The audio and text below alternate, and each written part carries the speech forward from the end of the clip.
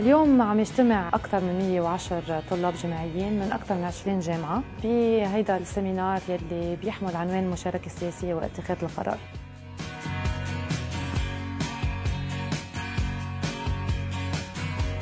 نحن بحاجة لدعم بعد أكثر. يمكن إحنا أو حتى النساء.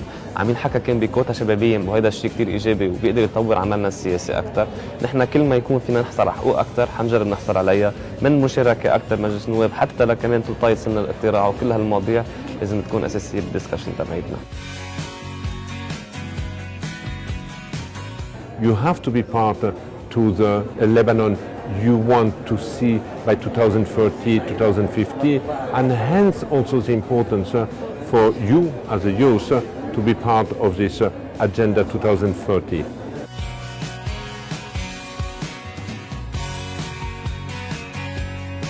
وأنا من الأشخاص مثل كل الأشخاص الموجودين بهالقاعة اليوم بآمن إنه في تغيير إنه في أمل وإذا نحن عرفنا شو هن الوسائل اللي بخلونا نعمل هذا التغيير بنكون عم عم عم ندفش الحياة السياسيه بلبنان لأشواط كثير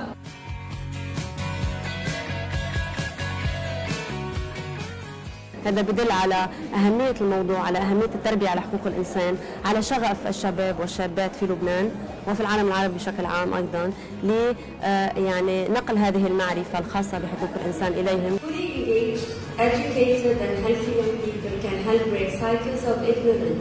ونحن كثير سعيدين اليوم إنه على الأقل انسمع صوتنا وتم الاحتفال باليوم العالمي للشباب.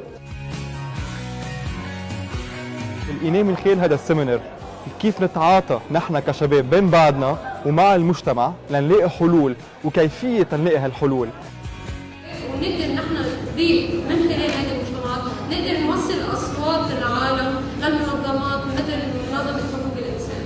الشباب هم بناة الحاضر وهم ضمانة المستقبل وهم استمرار البشرية فبقدر ما أن نستثمر في الشباب بقدر ما نستثمر في مستقبل الإنسانية.